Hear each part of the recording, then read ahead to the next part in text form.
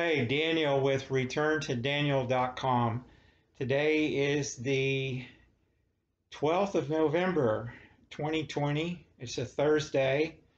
I'm five weeks uh, post op from my um, reconstruction surgery of my male genitals. I just want a short video update for uh, my YouTube subscribers, and um, I'll probably write another post on my blog now.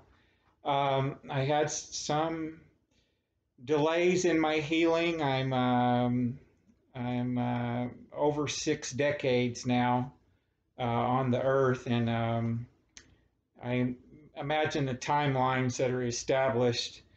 Uh, that you know, after three weeks, you'll be able to to have the catheters out and that kind of thing. Well, my timeline didn't fit that. I had to have catheters in for almost five full weeks. I, I had my suprapubic catheter, which was right below the belly button here, removed yesterday. And oh boy, what a relief.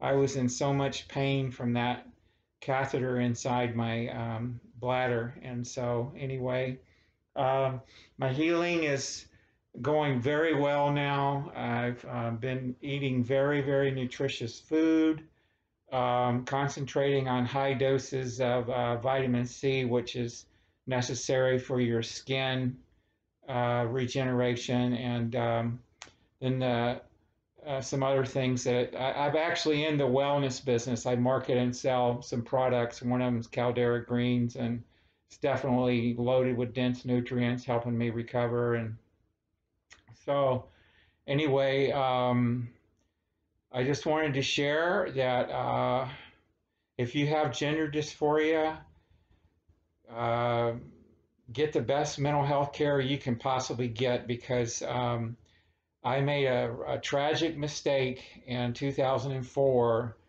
uh, by not dealing with uh, some things that happened to me as a little boy and there was some child abuse issues. Uh, my mother died from alcoholism, and I don't want to get into all of that um, on a short video update, but uh, I was abused and I made some bad decisions, and I had male genitals removed.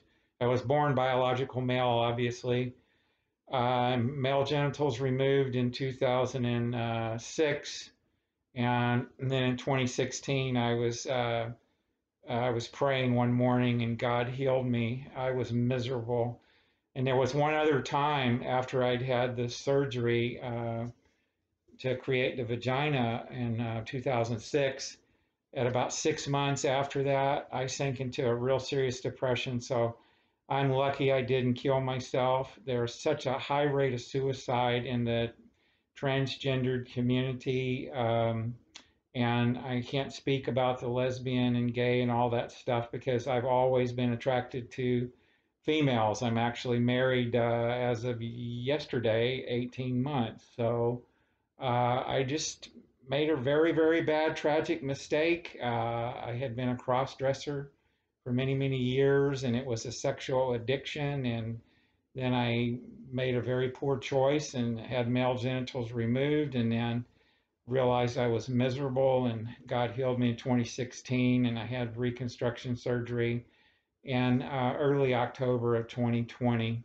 So, if you have gender dysphoria, uh, don't spend a fortune and a whole bunch of time with the, the pain of it all, if at all possible. Keep your keep your genitals the way they are. God created us. Uh, my father told me that, you know, God doesn't make mistakes, son. And I didn't listen to him. And um, had another friend tell me, you sure you want to do that? And I didn't listen to them either.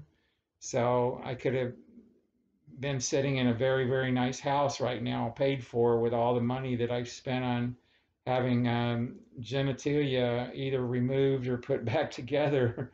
So that's my update for now. This is Daniel at returntodaniel.com. I'm going to update my book because I need to draw a conclusion to it there. Um, and uh, the book is very affordable uh, and it's on the website.